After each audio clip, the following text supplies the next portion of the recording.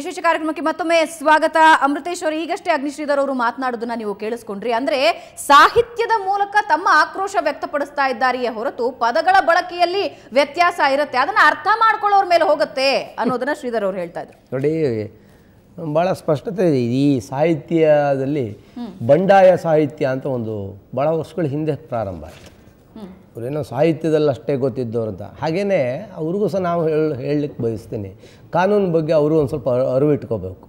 ಸಾಮಾಜಿಕ ಇದರೊಳಗಡೆ, ಜಾಲತಾಣಗಳಲ್ಲಿ ಇಂಥ ಇದನ್ನು ನೀವು ಬ್ಲಾಗಲ್ಲಿ ಹಾಕಬೇಕಾದ್ರೆ ಅದು ಸಾರ್ವಜನಿಕ ಕ್ಷೇತ್ರದಲ್ಲಿ ಹೋಗುತ್ತೆ.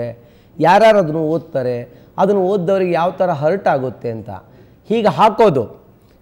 ಈಗ ಶ್ರೀಧರ್ ಅವರು ಏನೋ ಭಾಳ ಇದು ಹೇಳಿದ್ರು ಸಾಹಿತಿಗಳಾದವ್ರನ್ನ ಕರ್ಕೊಂಬಂದು ಕೂರಿಸ್ಕೊಳ್ಳಿ ಅಂತ. ಸಾಹಿತಿಗಳಾದವರು ಅವರವರ ಮೂಗಿನ ನೇರಕ್ಕೆ ಅವ್ರನ್ನ ಡಿಫೆಂಡ್ ಮಾಡೇ ಮಾಡ್ಕೋತಾರೆ. ಈಗ ಒಬ್ಬರು ಮೆಡಿಕಲ್ ಡಾಕ್ಟ್ರು ಏನೋ ನೆಗ್ಲಿಜೆನ್ಸ್ ಮಾಡಿದ್ರೆ ಆ ಮೆಡಿಕಲ್ ಡಾಕ್ಟ್ರನ್ನ ಬಂದು ಕೂರಿಸ್ಕೊಂಡು ನೀವು ಡಿಸ್ಕಸ್ ಮಾಡಿದ್ರೆ ಇಲ್ಲ he has done very good ಅಂತಾರೆ. Because he wanted to defend that ಸಾಹಿತಿ. ಇಲ್ಲಿ ಯತಿರಾಜ್ ಬ್ಯಾಲಹಳ್ಳಿ ಬರೆದಿರೋ ರೀತಿನ ನೋಡಿಬಿಟ್ರೆ ಎಷ್ಟೊಂದು ಅಸಹ್ಯಕರವಾಗಿದೆ ಯಾವ ರೀತಿಯಲ್ಲಿದೆ ಆ ಪದ ಬಳಕೆಗಳನ್ನು ಸಹ ಅವ್ರಿಗೆ ಒಂದು ಸೆನ್ಸಾರ್ಸ್ ಇಲ್ವೇ ಇಲ್ಲ. ಏನೋ ಪೆನ್ ಇದೆ ಪೇಪರ್ ಇದೆ ಬರೆದ್ರೆ ಬರಿಬಹುದು ಅಂತ ಹೇಳೋದು. ಅದು ಬರ್ಕೊಂಡು ಅವ್ರ ಮನೇಲಿ ಇಟ್ಕೊಳ್ಳಿ ಆದರೆ ಪಬ್ಲಿಷಿಂಗ್ ಹೋಗುತ್ತಲ್ಲ ಅದು ಸಾವಿರಾರು ಜನ ಲಕ್ಷಾಂತರ ಜನ ಸರ್ ಈ ಹಿಂದೆಯೂ ಬಹಳಷ್ಟು ಜನ ಬರೆದಿದ್ದಾರೆ. ನೋಡಿ ಇನ್ನೊಂದು ಅನಂತ್ ಕುಮಾರ್ ಹೆಗಡೆ ಮಾತಾಡಿದ್ರು ಅಂತ ನಾನು ಮಾಡಿದೆ ಅಂತಲ್ಲ. ನಾನು ಭಾಳ ಸ್ಪಷ್ಟವಾಗಿ ಅಲ್ಲಿ ಯಾವುದೋ ಒಂದು ಊರಲ್ಲಿ ಹುಡುಗ ಒಳ್ಳೆ ರೇಪ್ ಮಾಡಿದ ಜೋರಾಗಿ ಚೆನ್ನಾಗಿ ಅಂತ ನಾನು ಮಾಡಿದೆ ಅಂತ ಹೇಳೋದು ತಪ್ಪು. ಒಂದು ಭಾಳ ಸ್ಪಷ್ಟತೆ ಇರಲಿ ಈ ವಿಚಾರದಲ್ಲಿ. ಇದೇ ಅಗ್ನಿ ಶ್ರೀಧರವರು ಈಗ ಒಂದು ಹತ್ತು ಹದಿನೈದು ವರ್ಷಗಳ ಹಿಂದೆ ತಮ್ಮ ಪತ್ರಿಕೆಯಲ್ಲಿ ನ್ಯಾಯಮೂರ್ತಿ ಮಂಜುಳಾ ಚೆಲ್ಲೂರವ್ರಿಗೆ ಬರೆದ್ರು. ಶೇಮ್ ಮೈಲಾಡ್ ಅಂತ ಒಂದು ಹೆಡ್ಡಿಂಗ್ ಹಾಕಿ ಬರೆದ್ರು. ಕೊನೆಗೆ ನಾವೇ ಕಂಟೆಂಪ್ಟ್ ಎಲ್ಲ ಹಾಕಿದಾಗ ಏನು ಮಾಡಿದ್ರು? ಐ ಸ್ಟ್ಯಾಂಡ್ ಬೈ ಇಟ್ ಅಂತ ಏನು ಹೇಳಲಿಲ್ಲ. ಈಗ ಹೇಳಿದಾಗೆ. ಅಪಾಲಜಿ ಕಂಟೆಂಪ್ಟಿಗೆ ಒಂದು ಅಪಾಲಜಿ ಕೊಟ್ಟು ಸುಮ್ಮನೆ ಬೇಡಪ್ಪ ಈ ಹೋರಾಟ ಕಾನೂನು ಹೋರಾಟ ಅಂತ ಹಿಂದಕ್ಕೆ ಬಂದ್ರು. ಎಸ್ ಸರ್ ಇವಾಗ ಈ ವಿಚಾರದಲ್ಲಿ- ಯತಿರಾಜ್ ಬಾಲಹಳ್ಳಿ ಅವರೇ ನಮ್ಮ ಜೊತೆ ದೂರವಾಣಿ ಸಂಪರ್ಕದಲ್ಲಿದ್ದಾರೆ. ಯತಿರಾಜ್ ನೀವು ಬರೆದಿರುವ ಕವನದ ಕುರಿತಾಗಿ ಈಗ ವಿವಾದದ ಕಿಡಿ ಹೊತ್ಕೊಂಡಿರುವಂತಹದ್ದು. ಶ್ರೀಧರ್ ಅವರು ಹೇಳ್ತಾರೆ ನಾನು ಪೋಸ್ಟ್ ಮಾಡಿದ್ದೀನಿ ಅದನ್ನ ಐ ಸ್ಟ್ಯಾಂಡ್ ಬೈ ಇಟ್ ಅಂತ.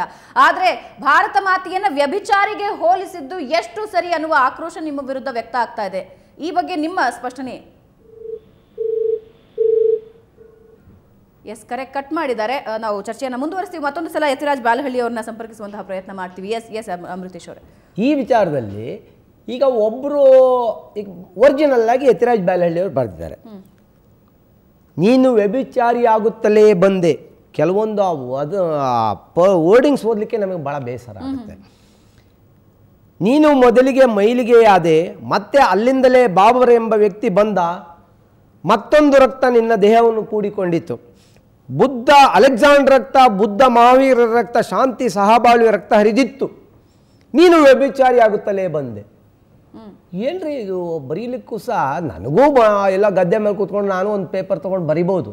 ಆದರೆ ನಿಮ್ಮ ಮನಸ್ಸಿನ ಸಂತೋಷಕ್ಕೆ ಬರ್ಕೊಂಡು ಅದು ಹಾಗೆ ಇಟ್ಕೊಳ್ಳಿ. ಪ್ರಚಾರ ಮಾಡಿದಾಗ, ಹೊರಗಡೆಗೆ ಬಂದಾಗ ಅದು ಯಾವ ಪರಿಣಾಮ ಈ ಸಮಾಜದ ಮೇಲೆ ಬೀರುತ್ತೆ? ಆಯಿತು, ನೀವು ಬರ್ದ್ರಿ. ಅದನ್ನು ಇವರು ಅದಕ್ಕೆ ಪ್ರಾಯೋಜಕರಾದರು. ಯಾರೋ ಅಗ್ನಿಶ್ರೀಧರವರು ಒಂದು ರೀತಿಲಿ ಅದನ್ನ ಬ್ಲಾಗ್ ಹಾಕಿದ್ರು ಹೊರಗಡೆಗೆಲ್ಲ ಬಂತು. ಅದರಿಂದ ನಾನು ಸಹ ಈಗ ನಾನು ಅನಂತಕುಮಾರ್ ಹೆಗಡೆ ಬಗ್ಗೆ ಹೋಗಲ್ಲ. I will go directly to the Yathiraj Byalahalli and Agni Sridhar ಇವರಿಬ್ಬರೂ ಸೇರಿ ಇಡೀ ನಮ್ಮ ನಾನೇನು ನಂಬ್ಕೊಂಡಿರೋಂಥ ಈ ಭಾರತ ದೇಶ ಮಾತೆಯ ಬಗ್ಗೆ ಅತ್ಯಂತ ಇದಾಗಿ ಮಾತಾಡಿದ್ದಾರೆ. ಆಮೇಲೆ ಐ ಟಿ ಆ್ಯಕ್ಟ್ ಒಳಗಡೆ ವಿಜಯಶಂಕರ್ ಅವ್ರು ಹೇಳೋ ಹಾಗೇನೆ ಏನೇ ಆಗಲಿ ಇವತ್ತು ಸಿಕ್ಸ್ಟಿ ಫೈವ್ ಬಿ ಒಳಗಡೆ it is a cyber crime okay they have to face it face it ಅಂದಾಗ ಏನು?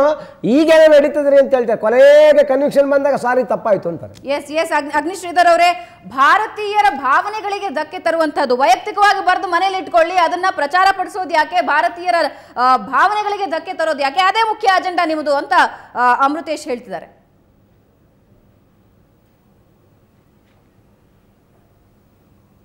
ಇಲ್ಲ ಕರೆಕ್ಟ್ ಅವರು ವಕೀಲರಾಗಿ ಅವ್ರು ಕೇಳ್ತಿರೋದು ಸರಿ. ಅವರು ನಮಗೆ ಒಂದು ಪ್ರಕರಣ ಹೇಳಿದ್ರು. ವಕೀಲರೇ ನಿಮಗೂ ಗೊತ್ತು. ನಾನು ಕೊಡೋ ಸ್ಟೇಟ್ಮೆಂಟ್ ಅಲ್ಲ ಹಿರಿಯ ವಕೀಲರು ಕೊಟ್ಟು ಮುಗಿಸ್ಕೊಳ್ಳಿ ಅಂತ ಹೇಳಿ ಅವರು ಜಡ್ಜ್ ಎಲ್ಲ ಹೇಳಿದಾಗ ಅದನ್ನ ಎಳ್ಕೊಂಡು ಹೋಗೋದಕ್ಕೆ ಯಾರು ಇಷ್ಟ ಇರಲಿಲ್ಲ. ಅಷ್ಟೇ. ಎಷ್ಟು ಸಾರಿ ಚಿಂತಕರು ದಯವಿಟ್ಟು ಅರ್ಥ ಮಾಡ್ಕೊಳ್ಳಿ. ನೀವು ಯಾಕೆ ಹಾಗಾದ್ರೆ ನೀವು ಇದನ್ನು ಕೊಟ್ರಿ ಅಪಾಲಜಿ ಕೊಟ್ರಿ? Apology why you given to the apology to the high court sir V- ವಿಷಯಾಂತರ ಆಗೋದು ಬೇಡ. ವಿಲ್ ವಿಷಯಾಂತರ ಆಗೋದು ಬೇಡ ಅಂದ್ರೆ that's why S S Agnishridhar ಅವರೇ. ಅಮೃ ಅಮೃತೇಶ್ ಅವರೇ ಅಮೃತೇಶ್ ಅವರೇ. ಹಾ ಹೇಳಿ. ಅಮೃತೇಶ್ ಅವರೇ ವಿಷಯ ಏನಿದೆಯೋ ಅದ್ರ ಬಗ್ಗೆ ಡಿಸ್ಕಸ್ ಮಾಡಿ. ಹೌದು. ಅದ್ರ ಬಗ್ಗೆ ಹೋದ್ರೆ ಇನ್ನೂ ಬಹಳ ಹೋಗ್ಬೇಕಾಗತ್ತೆ. ನನಗಲ್ಲ. ವಕೀಲರುಗಳಿಗೆ. ನಾನು ಅವತ್ತು ಹೇಳಿದ್ದೆ ನಾನು ಐ ಸ್ಟ್ಯಾಂಡ್ ಬೈ ಹೇಳಿದ್ದೆ. ಬೇಡ ಇದನ್ನ ಬಿಡಿ. ಈಗ ಆ ವಿಷಯ ಬೇಡ. ಈಗ ಒಂದು ಮತ್ತೆ ಈ ಪ್ರಕರಣದಲ್ಲಿ ನಾನು ಎಂದಿಗೂ ಕೂಡ ಇಲ್ಲ ಅಂತ ಹೇಳೋದಿಲ್ಲ. I will stand by it ಅಂತಾನೆ ನಾನು ಕಳಿಸ್ಲಿ ಜೈಲಿಗೆ. ನಾನು ಎಲ್ರಿಗೂ ಹೇಳ್ತಿದ್ದೀನಿ I stand by it sir ವಿಚಾರವಾದಿಗಳ ಬರಹ ಅಂತ ಬಂದ ತಕ್ಷಣ ಅಲ್ಲಿ ಅಲ್ಲಿ ಇಂತಹ ಪದಗಳ ಬಳಕೆ ಯಾಕೆ ಅನ್ನೋದು ಕೂಡ ಇಂಡಿಯಾಗೆ ಮಾನಭಂಗ. ಆಗಿದೆ. ಭಾರತ ಭಾರತ ಭಾರತ ಮಾತೆಗೆ? ಪ್ಲೀಸ್ ಪ್ಲೀಸ್ ಪ್ಲೀಸ್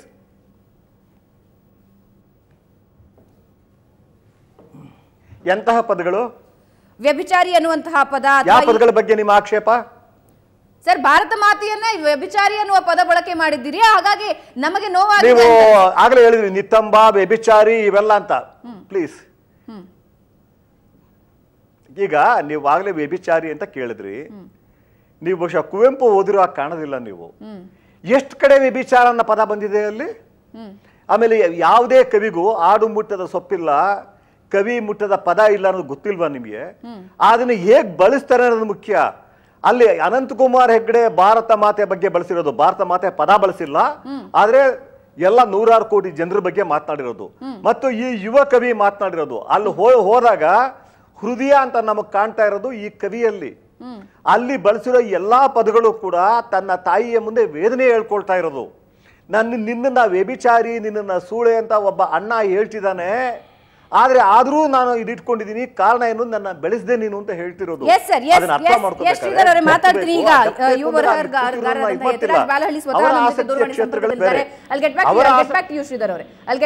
ಬ್ಯಾಲಹಳ್ಳಿ ಈಗ ನಮ್ಮ ಜೊತೆ ದೂರವಾಣಿ ಸಂಪರ್ಕದಲ್ಲಿದ್ದಾರೆ. ಯತಿರಾಜ್ ಬ್ಯಾಲಹಳ್ಳಿ ಅವರೇ ನೀವು ಬರೆದಿರುವ ಕವನ ಈಗ ವಿವಾದದ ಕೇಂದ್ರ ಬಿಂದು ಅಂಡ್ ಅಗ್ನಿಶ್ರೀಧರ್ ಹೇಳ್ತಾರೆ ಐ ಸ್ಟ್ಯಾಂಡ್ ಬೈ ಇಟ್ ಅದರಲ್ಲಿ ಬರೆದಿರುವಂತಹದ್ದು ಸತ್ಯವೇ. ಅದು ನಾನು ನಾನು ಅದರ ಪರವಾಗಿ ನಿಂತ್ಕೊಳ್ತೀನಿ ಅಂತ. ಆದ್ರೆ ವಿವಾದದ ಕಿಡಿ ಅಂತೂ ಹೊತ್ತಿಸಿದೆ ಹಾ, ನಮಸ್ತೆ ಮೇಡಮ್. ಎಸ್ ಹಲೋ ನಮಸ್ತೆ. ನಮಸ್ತೆ.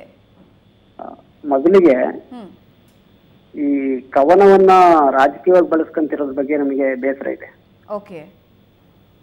ಇದು ಒಂದು ಕವನ ಧ್ವನಿಯರ್ಥವನ್ನ ಅರ್ಥ ಮಾಡ್ಕೊಳ್ಳಿಕ್ಕೆ ಸಾಧ್ಯ ಇಲ್ಲದಂತವ್ರು ಸಾಹಿತ್ಯದ ಒಂದು ಗಂಧಗಾಳಿ ಗೊತ್ತಿಲ್ಲದಂತವ್ರು ನಮ್ಮ ಪರಂಪರೆ ಪರಂಪರೆಯಲ್ಲಿರುವಂತಹ ಬಹಳಷ್ಟು ಸಾಹಿತಿಗಳ ಕೃತಿಗಳನ್ನಾಗಲಿ ಅವರಲ್ಲಿ ಬರುವಂತಹ ಅಭಿವ್ಯಕ್ತಿಯ ಮಾದರಿಗಳನ್ನಾಗಲಿ ತಿಳಿಯದೇ ಇರುವಂತಹ ವ್ಯಕ್ತಿಗಳು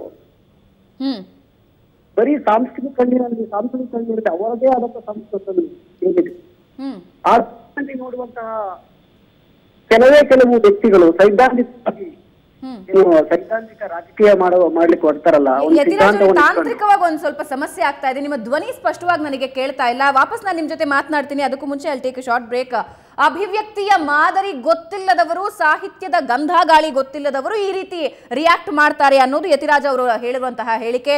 ಮತ್ತೆ ಯತಿರಾಜ್ ಅವರನ್ನ ನಾವು ಮಾತನಾಡಿಸ್ತೀವಿ ಒಂದು ಸ್ಮಾಲ್ ಬ್ರೇಕ್ನ ನಂತರ.